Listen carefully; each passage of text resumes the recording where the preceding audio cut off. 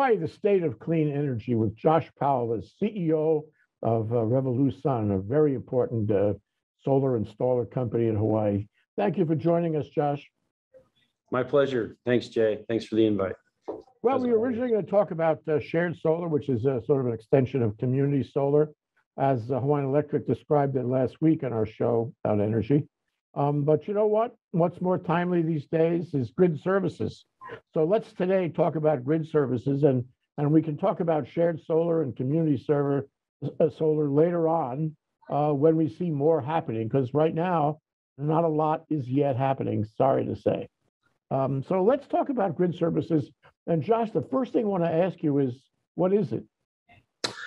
So um, we've we've talked about this a couple times on Think Tech, um, but but in short, grid services are, you know, any concept where, and and here we're we're talking about, um, you know, what's also been called virtual power plants and um, distributed generation. So we're talking about distributed uh, grid services where you know people's solar systems and battery systems on homes and businesses can contribute to the grid by helping to solve grid-based problems like frequency regulation all the sorts of things that a utility has to do to make sure that the grid stays up and that everybody gets the energy they want.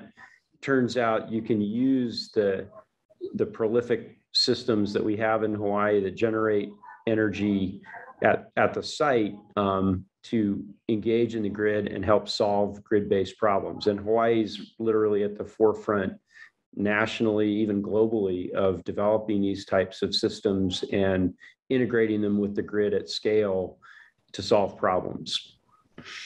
Sounds very high tech. It also sounds like something that is changing while we watch, you know? I mean, if we talked about this a year ago, it's probably way different now simply because of the technology. The technology is not just uh, the inverters at the at the homeowner end, uh, but the technology is all the software that lies between the homeowner and um, you know the utility. I mean, earlier we had this hub and spoke kind of a conceptual approach where it was all generated in the hub and and shut out to the the consumer by the spokes. Um, but it's not like that anymore, and it's gotten much more sophisticated. And actually, you know, I agree with you that we are way ahead. Hawaii's been thinking about this for 10 years at least, maybe more. Um, and I'm really interested in the latest and greatest on, on the grid services and the equipment and the software that's coming into play. And you, RevoluSun, uh, would be very interested in that and you would be actually marketing it. Absolutely. Yeah. So, um, you know, again, I'll do a kind of a quick uh, primer on sort of what's been happening. We've been talking about this for you know at least a couple years on Think Tech, but um, last summer two two programs were kicked off by um, the PUC and by HECO. Um, you know, one is a RFP, you know, a, a RFP based pro- program that uh, HECO released that had been out in the public domain for a couple years, and there have been programs before that um, but but that one is with a mainland company called Swell Energy, and it's called Home Battery Rewards. The other program. Tell everybody what RFP means so that everybody. Oh, request for proposal. So when the utility wants to hire somebody to solve a problem, you know, usually these are pretty big uh, things. Uh, you know, they'll they'll they'll put out a proposal and request and so there was a long proposal process that we participated in with this company, Swell Energy, and with Tesla. Um, we were the three participants in that, and that was awarded to them early last year. And then the program started to go live and recruit customers about midsummer. And we're just now getting to full implementation of that program. So we've been recruiting we're in the very final testing stages. We have actually the first maybe dozen or so customers that are in the program now utilizing services and it'll start to scale up over the next couple of months. We have another program that the PUC put forward called Battery Bonus um, that um, is basically you bring any any battery that meets the criteria. It's pretty simple. It's a discharge every day for 10 years from the battery um, and you get some rewards based on you know how much energy you can discharge and the what does uh, discharge mean Does that mean Send- it back to the Yeah, utility? yeah, send back to the grid, exactly, right. So imagine your solar puts energy in a battery during the day. And then this happens to discharge from six to eight PM. Um, when, you know, when it's queued to discharge, then it would, it would send energy back either at full power or at, you know, whatever. You can actually set it, so it doesn't have to be full power.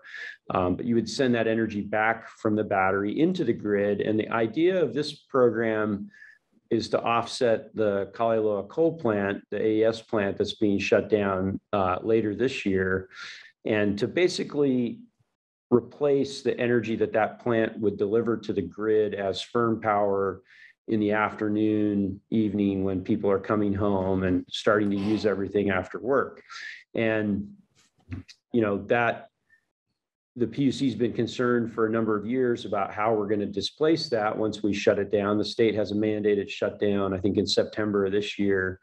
And the, the, that grid services program, battery bonus, is meant to do that. And, and what happens is if a customer signs up for that program, they're kind of, there's two things they get to do. They can expand on an existing net metered uh, solar system. So if you bought a solar system, say, you know, five or 10 years ago, and which, you know, you haven't been able to expand those systems typically on metering, they allow you now to expand the system under net metering. So essentially increase your original net metering contract.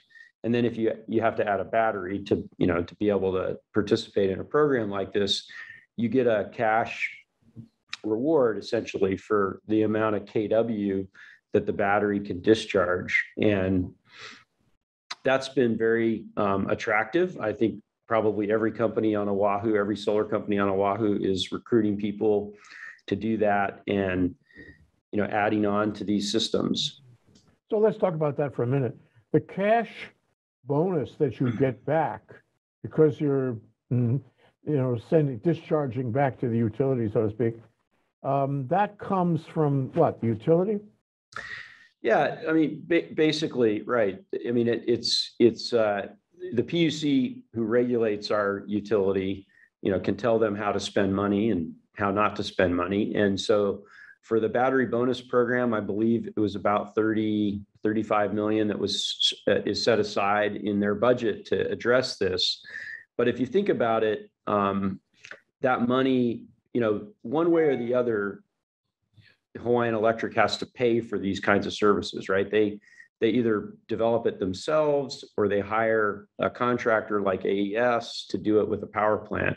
So in this case, what they're doing is they're shifting some of that money that would normally go to, uh, you know, a- say a commercial or industrial provider of energy services to the utility, and they're sending it back to consumers you know, and think of it almost like they're renting your battery. You know, they're they're they're leasing or or paying you to allow your battery to be used on the grid. You're you're in turn signing a 10-year commitment to to do that every day. And then there's software on board the equipment. So we, you know, we call it a grid code in the industry, but basically the the battery is configured in a way that it'll do what it's supposed to do. And you have to you know, once you've installed it, it has to go through some tests and things like that to validate that. So they know that the resource is going to do what, what it's supposed to do. So Joshua, you know what, what strikes me is that they, we still have this issue in the legislature um, about um, credit, tax credits for um, what, adding on um, storage facilities, storage equipment on an existing system. So if I have an existing system, maybe I can get this uh, bonus battery program, but there is still an issue about whether I can get the tax credit. What's the Yeah. status of that? How does that, how does that, So how the does that way, interact? yeah, the way we see it is as long as you're, you know, as long as it's a system and you're adding PV, the battery is necessary to that system and that meets the required, the requirements of DOE tax. I'm say that not as a tax advisor, but I can say we have done some inquiries with DOE tax and that meets their, uh, meets their regulatory requirements. But What you're talking about is specifically the legislature making it okay to install a battery and get benefits um, with or without additional PV. So in, in most cases with these systems, batteries are being added with additional PV panels, so additional production. And, and that's kind of the idea, right? You want the energy going into these batteries that's going to be discharged to the grid later to be coming from solar. Um, you know, that's that's so if, if if presuming the existing solar on the house, you know, in the case of like an existing net meter system where you're going to add on a couple new batteries and some PV, you know, typically it's a pretty safe assumption that that existing PV is, you know, maybe covering, you know, some, you know, 80, 90% of the existing home consumption, maybe less. Usually over time, we find that people use more energy. So they're typically going to need more, more panels anyway. Um, but then coupled together, you know, that typically, there's not an issue getting the tax credit in that circumstance. So, but it would still be great for the legislature to make it simple for batteries. And I think the, this really calls that out. I mean, the battery is, you know, when you, when you couple distributed batteries with a bunch of distributed energy production, it makes for an incredibly resilient grid. Um, because as we started with your original analogy, hub and spoke, now you've got energy being produced and stored all along those spokes, all over the place, and and sort of effectively connecting things in a much more robust way, such that you know even pockets, you know, limit, you know, individual circuits could potentially you know be stronger in terms of resisting something that might shut them down, a, a voltage drop or uh, a line going down, something like that. It's a lot easier to isolate. And then, of course, each home that has a system like that is individually able to disconnect and stay stay on, you know, stay have power continuously um, in the event of some kind of outage. You know, do you know why the legislature is reluctant to um, expand the tax credit for existing solar facilities?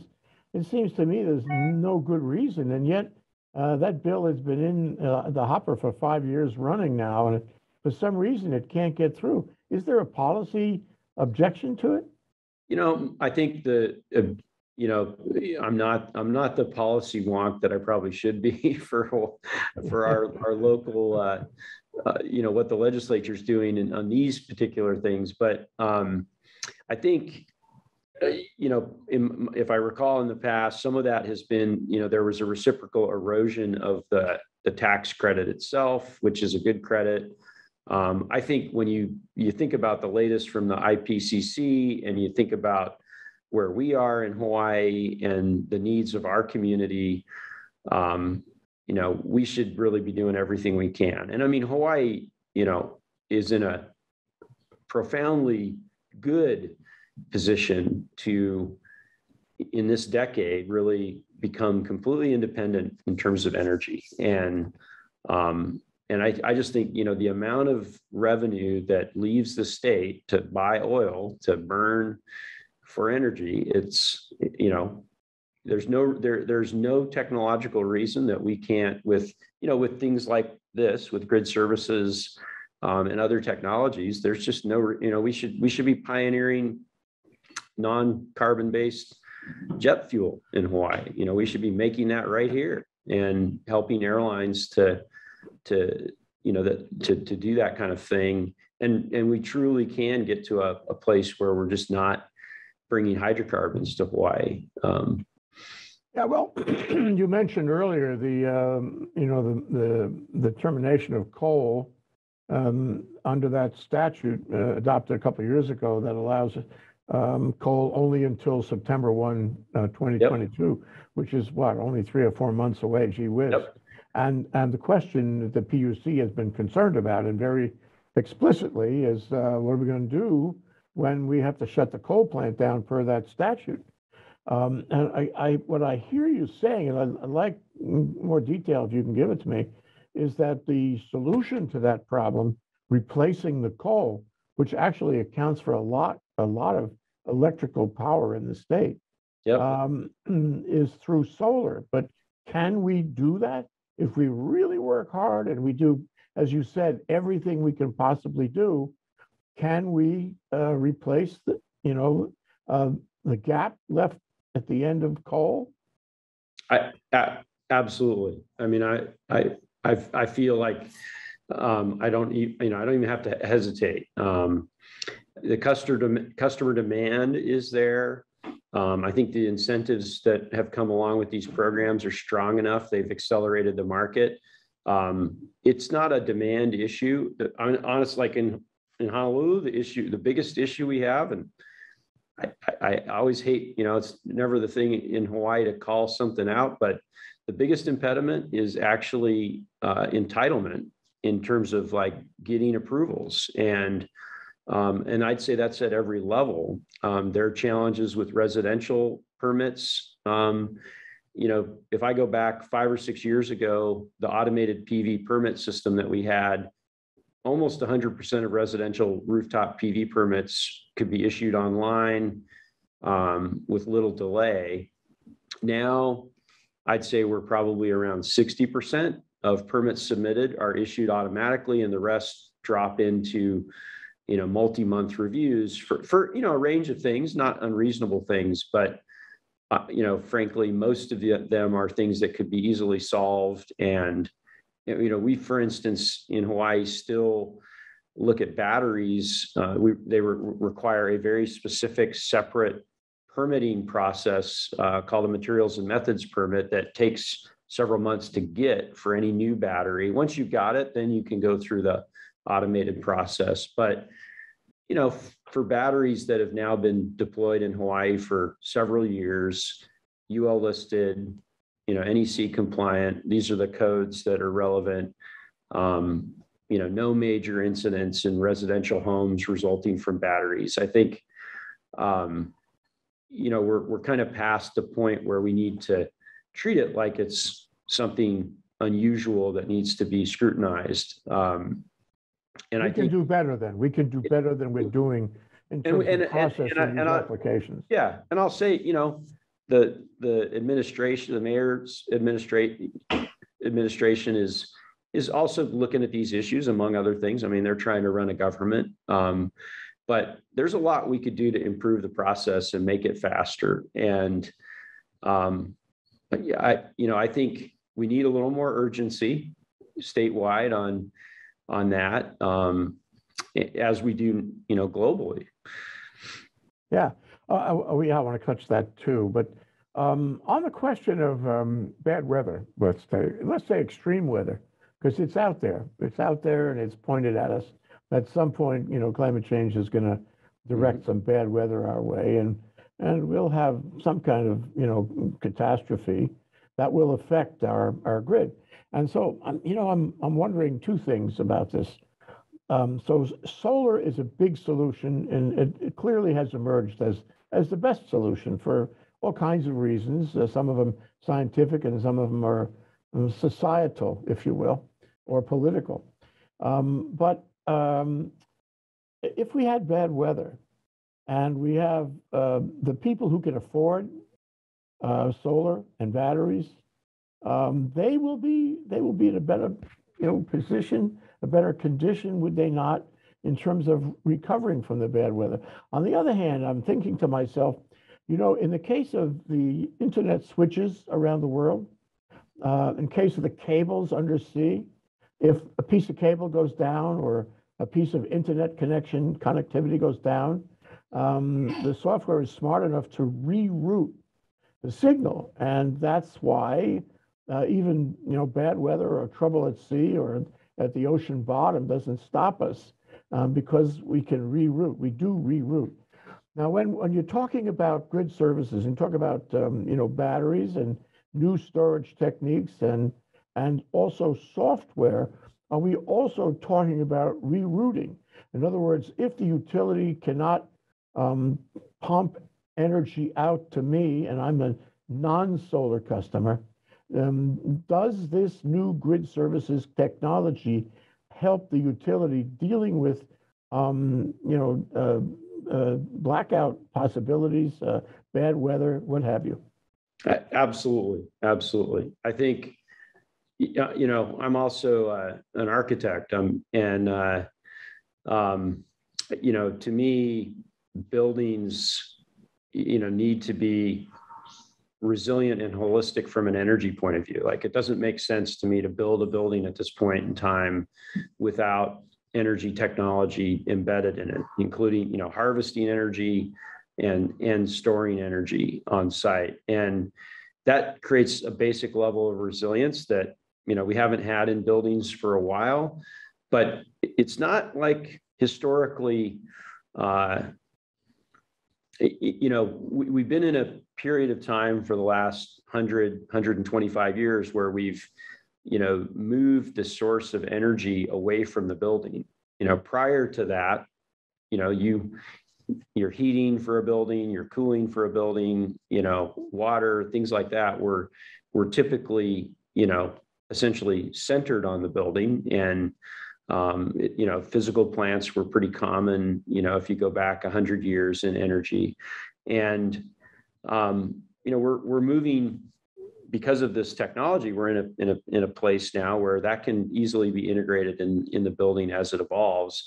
But then, you know, when you connect this in a network, just like we, you know, the, the internet is a great, eh, you know, great analogy for, for grid services all these things can now move those eh, move that energy around. And so somebody that doesn't have enough they can they can borrow a little or buy a little and and vice versa. And when it's integrated at the utility level within the utilities uh, you know operations system um, you've got software that can help to manage that in real time.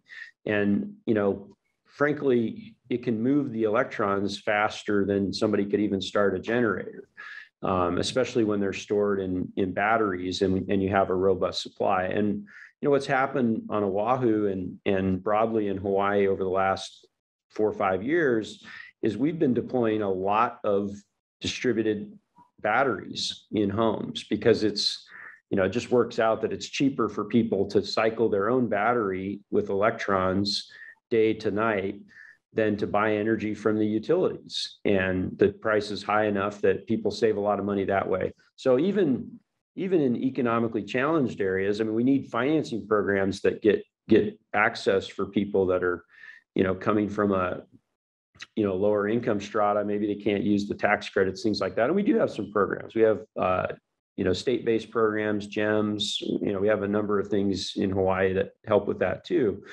Um, but when you connect it all, you have this very robust system that you know both can be functional when it's disconnected.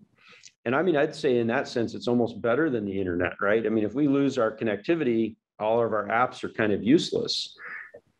Not the case in your home. I mean if if the grid goes down you still have an energy system that's going to work as long as you've got a roof. Um, and you know we can Well, get that, into that takes me to another question I want to pose to you. And that is, um, you know, you mentioned earlier, and it's of great concern, that right now we're in a global crisis uh, over Ukraine and Yeah. Mr. Putin and Western Europe and, and so forth. And uh, you don't have to read the Times uh, every day to know how, how troubled we are and how disturbed our global oil markets are.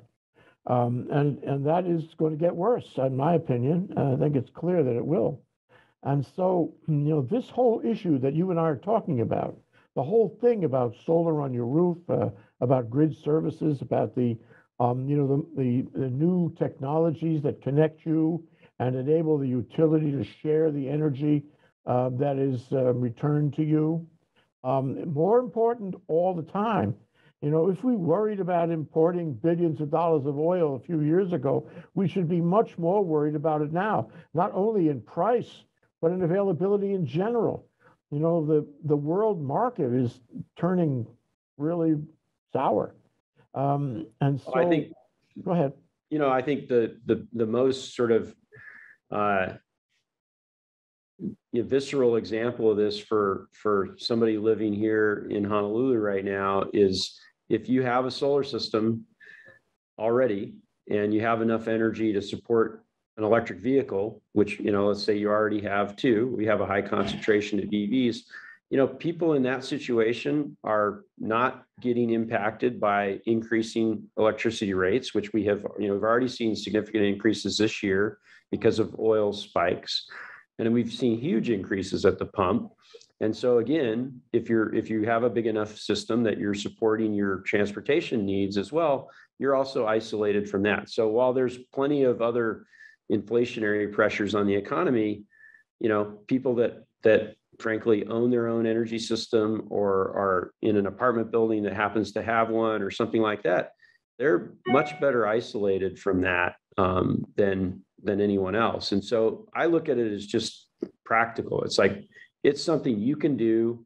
You certainly, you know, I hope people are driven by the sort of noble ideal of let's do it to, you know, help help uh, abate climate change and save the planet and things like that. But um, but you can do it very pragmatically, just from an economic point of view. And there's you know, it's very easy typically to finance these systems. Um, you know, it doesn't, it's not like a big, you know, you don't have to come up with the cash up front.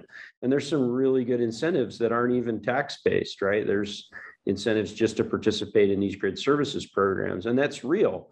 I, the one thing that I think is also, you know, we talked about the economics, and I want to make sure I make this point. You know, that money that was set aside by the PUC to support the battery bonus program estimates are that it's somewhere between one fifth to one third of what the utility would have to pay for those services if they were doing it in a traditional way.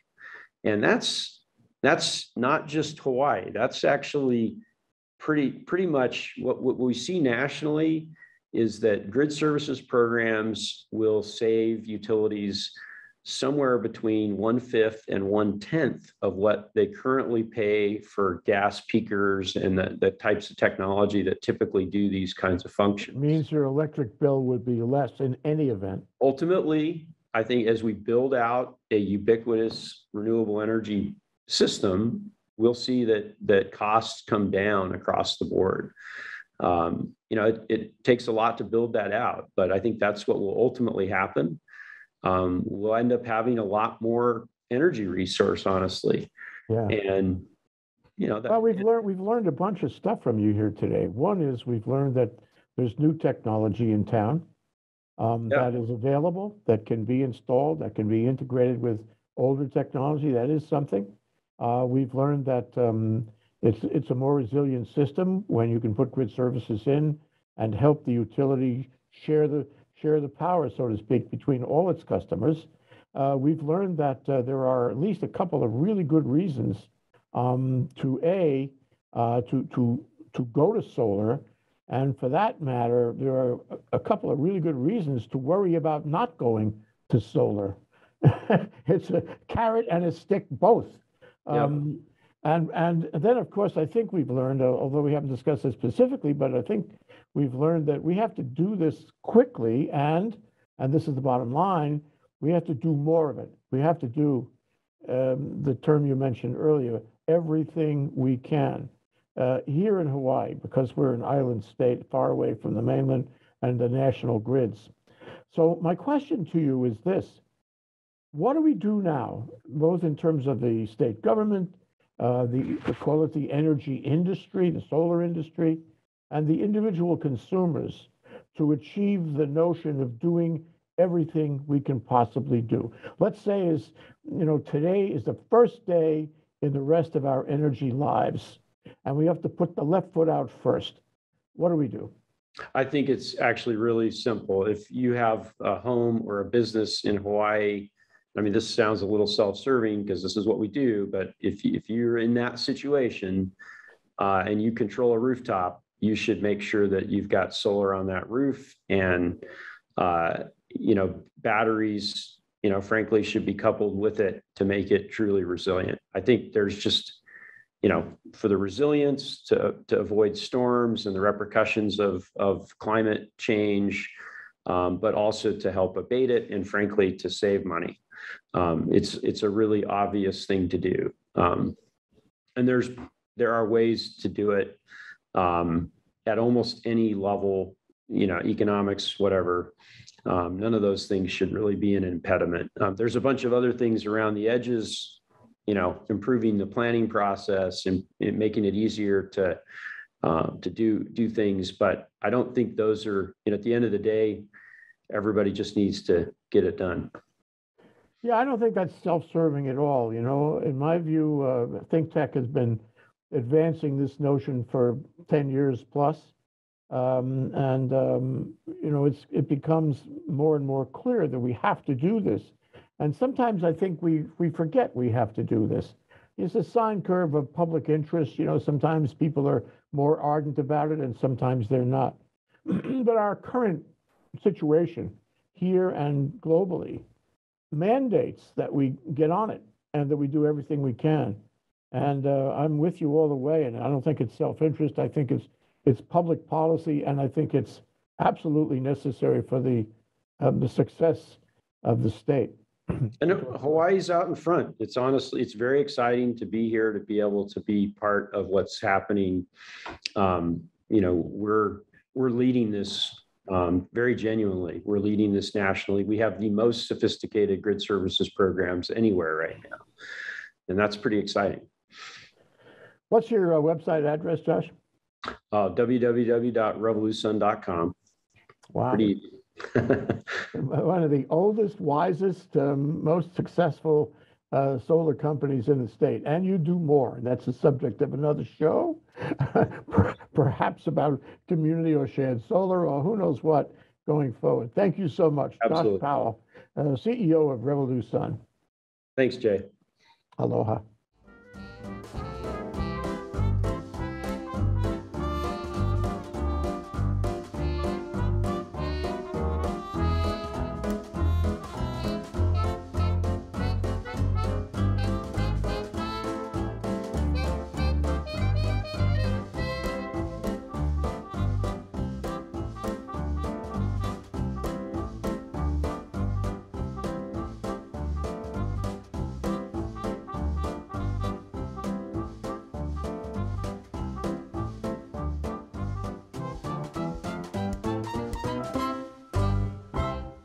Thank you so much for watching Think Tech Hawaii.